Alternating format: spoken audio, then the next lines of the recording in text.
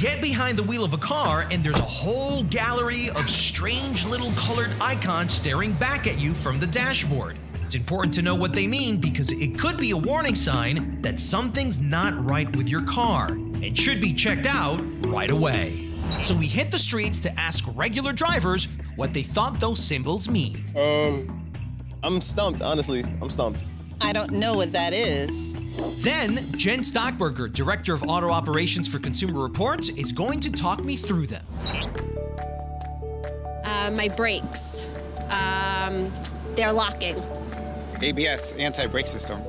So this is actually an icon you don't want to see because it means there's a malfunction with your anti-lock braking system. So your anti-lock brakes are a system that pulses your brakes to keep them from locking up and skidding. So you'll feel it or hear it in very hard braking or when it's slippery. You'll kind of hear that pulse and you'll feel it in your brake pedal. Mm -hmm. You need to get to a mechanic as soon as possible, find out what's wrong and get it repaired.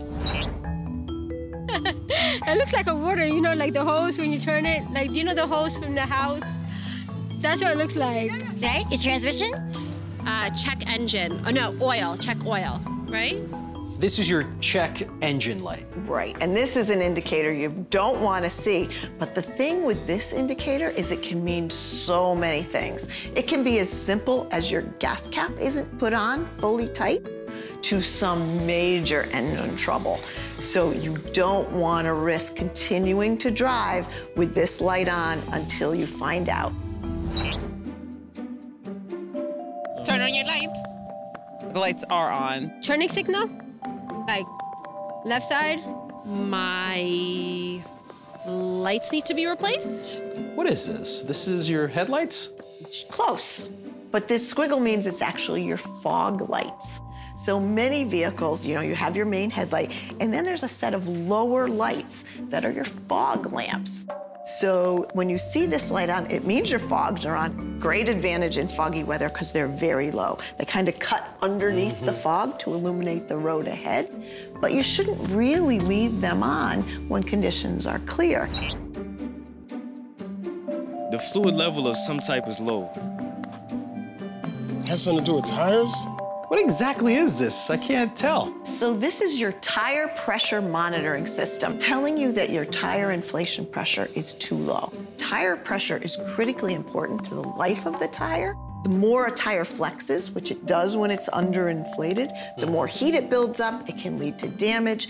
Low tire pressure actually relates to fuel economy. You get better fuel economy when your tire is correctly inflated, and it also relates obviously to the performance of the tire you're handling. What people also don't realize is when the temperature drops, for every 10 degrees Fahrenheit the temperature drops, your tire pressure drops one pound per square inch, one PSI. You're good to, you know, accelerate. The gas pedal is working. Put the brake on, maybe? You're not in park?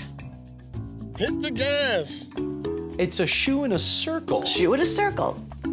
This is actually a shift interlock or a brake interlock. What does that mean? So they originally were mandated for the protection of children.